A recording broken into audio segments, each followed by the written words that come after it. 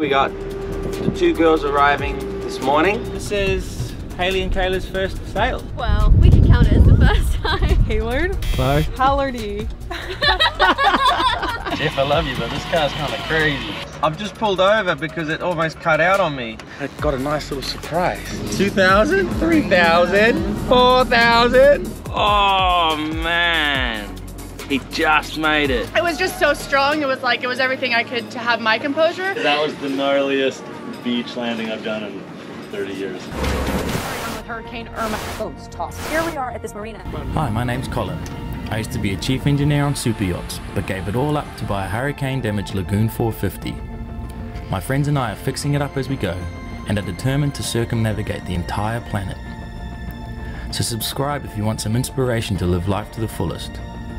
20 years from now, you will be more disappointed by the things you didn't do than by the things you did. So what are you waiting for?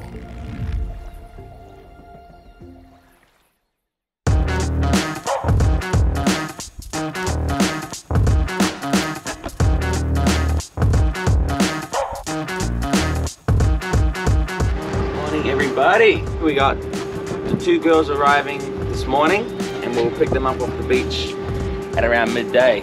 Let's go get Hayley. Oh my god, I'm so excited. This is great news. Oh, good to meet you. I don't know if you have ability to talk to a captain or marina. We just saw a flare go off at one of the boats out there, and I don't know if someone needs help. Trouble on the horizon. Ah, oh, drama already. All right, this is the fun part. yeah. Might wait for this one. And the next one, probably. You. Numero dos. Kayla. So nice to finally meet you. Oh, thank you. Hi. I'm Kayla. Hi, nice to meet you. I'm. Nice to meet you. Make yourself at home. Welcome to Parlay. So we're leaving Tamarindo. We're going back to Flamingo to hang out with Jeff and Lindsay at the sailing club. This is Hayley and Kayla's first sail. Well, we can count it as the first time. But we've already got the mainsail up regardless. So we're a sailing boat. We're going to do some sailing. Okay, so you can start cranking on the winch. This way? Uh, go the other way. This way? Both girls were eager to learn how to sail, so we wasted no time getting them on the winches.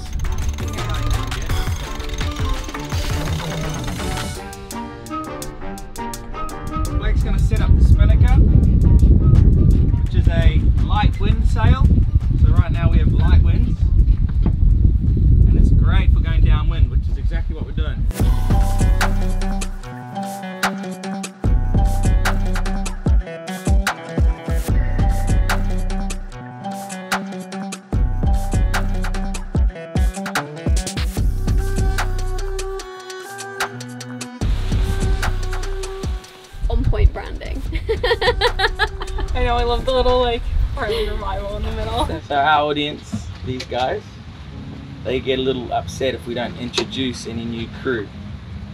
So Hayley, you want to go first and tell these people who you are? I'm Hayley. I also run a YouTube channel called Wild Ever Since and Nice plug, I straight mean- off the bat. I Straight off the bat. uh, so I'm from England, but I'm living in Scotland, uh, in Edinburgh. and how old are you? Uh, I'm 27. I've basically joined like a bunch of random Facebook groups, and uh, one of those was like a sailing Facebook group. And I saw Colin's post, and so I reached out, um, and then we had a couple of WhatsApp FaceTimes, and then yeah, flew to Costa Rica. My name's Kayla and I'm from Calgary, Alberta. How old are you? I'm 18. so Um. I'm currently solo backpacking right now. Uh, so I just made my way down and now I'm in Costa Rica for a bit and then hopefully go to Panama next. How do your parents feel about you being on parlay? Um, they were really excited for me. They had lots of questions at first, but I just sent them the YouTube channel. You're the youngest crew member we've ever had. Yeah, Exciting. I'm really interested in learning to sail. I also I love to surf, and so I'm working on my surfing. And yeah, just hanging out. There you go. Hayley and Kayla. You.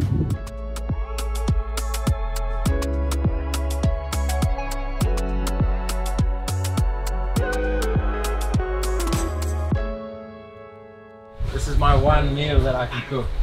Okay, it's a green curry. Just throw everything in, fire it up, and then it's done. so good. I mean, Honest opinion. no, it's so good. Oh, gorgeous like I wasn't here. So good.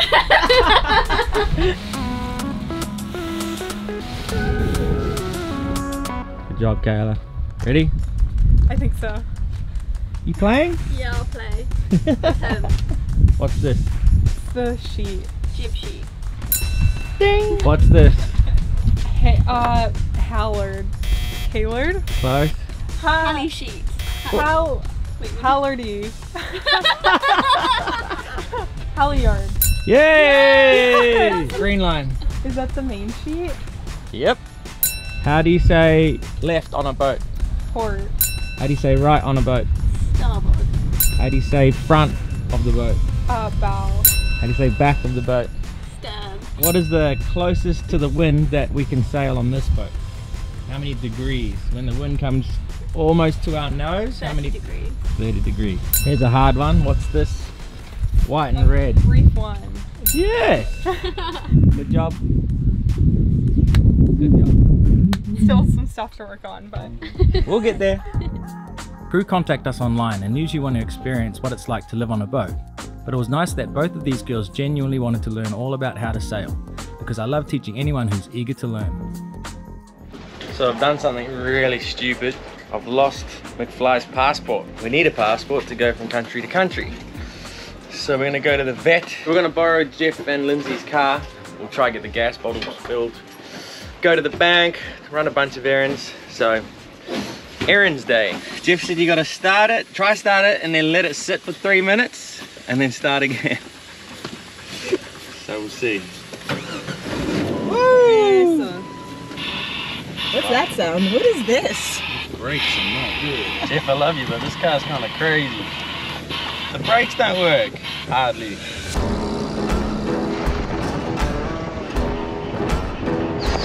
Here we are. We can do a shot and we can give you the car. All done. There we go. Dogs are fully vaccinated. So now they're good to go to Mexico.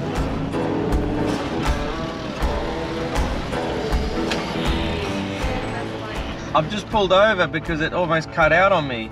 Um, it's saying there's a quarter tank. Started spluttering like it's uh, about to cut out. Yeah, I'll try and make it to the next gas station. Oh, there's one up ahead. Okay, we'll, we'll throw some gas in it. Maybe, maybe it's fucking, maybe this gauge is stuck on a quarter.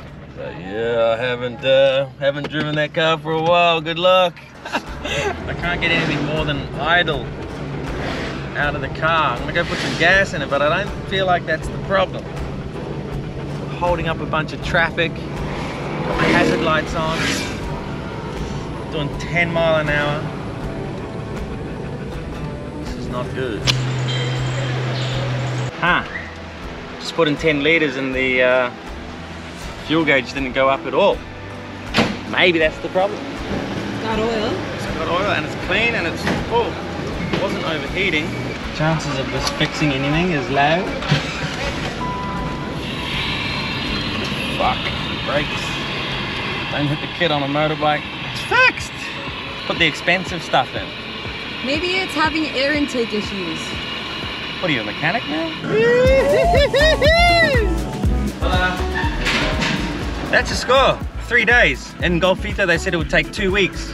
So that's a result. We'll come back in three days. Are you riding shotgun now, Fly? Next stop was the bank, where I faintly remembered having a couple hundred dollars in my account, but I had lost my online password, so I hadn't been able to check for years. So I lived in Costa Rica six years ago. Started a business here, and I was uh, fixing super yachts, just doing like super yacht engineering work up and down the coast of Costa Rica. And I started a bank account and uh, was using that while I was here. And then I flew to the BVI's and I bought Parlay. So I've just come to the bank that I used to be with to pull out whatever money I had in there. And I got a nice little surprise. Is that a thousand? Yeah. Two thousand? Thousand. I've lost the bet. Three thousand? Nine. Ten. Four thousand? Two hundred and fifty-six. Wait, I took it wrong. Ten. Yeah, you're going the wrong way. Where the hell? Let's celebrate! You! 1 a.m. in the morning. Yes, it is. Going to Witches Rock. So we've got about 24 miles to go, and we want to surf today at 5 a.m. And we're meeting Jeff and Lindsay, our friends who own the sailing club behind us. Just getting to Witches Rock now. It's about 5.20 in the morning. Day has just broken, the sun has come up, and the girls just finished their first night passage. It was a nice slow drop to sleep. Beautiful. Very tired.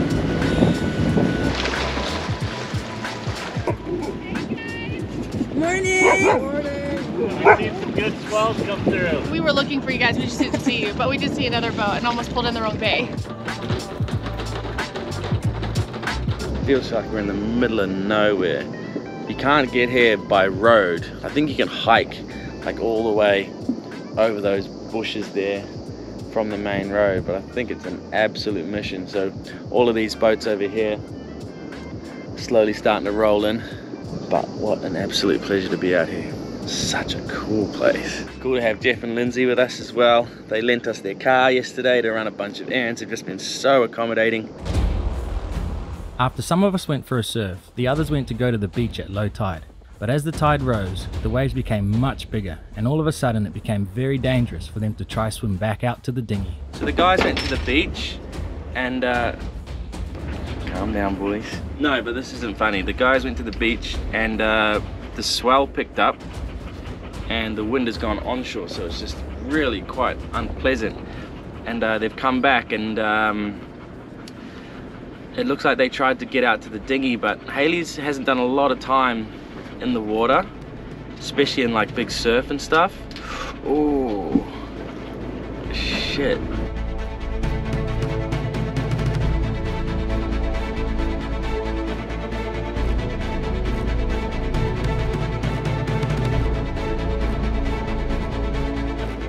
Eventually, Jeff saw a small lull in the sets of waves, so he raced in for a dramatic rescue.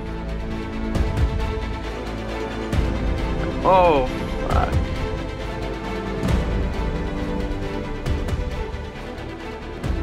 Good job, Jeff. Oh, man. He just made it. I just got the drone up and Hayley looks really uh, quite distraught from what I'm seeing. Now they're high-fiving. Happy ending. Good job, Jeff. Jeff's been in Costa Rica for like 20 years. He bought the first ever charter cat um, to Costa Rica called the Blue Dolphin. And uh, he's so he's been coming out here for 20 years, so he's really experienced.